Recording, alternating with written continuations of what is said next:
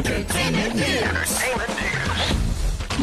ngayon ang showbiz columnist na si Christopher Min sa statement ng aktor na si Dominic Roque kung saan inadres ang issues na ibinabato laban sa kanya.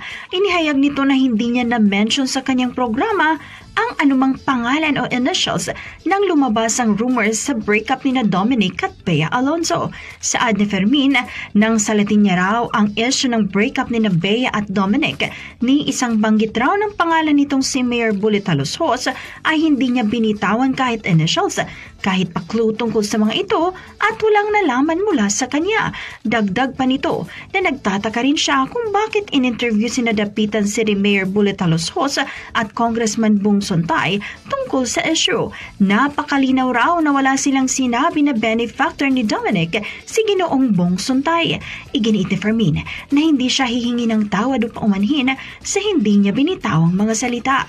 Dahil ni minsan raw, hindi niya sinabi kay Dominic na nakatira ito sa isang condo unit na pagmamay-ari ng isang gay politician. Yan ang ating entertainment news. Alex Foraket, Tatak, RMN.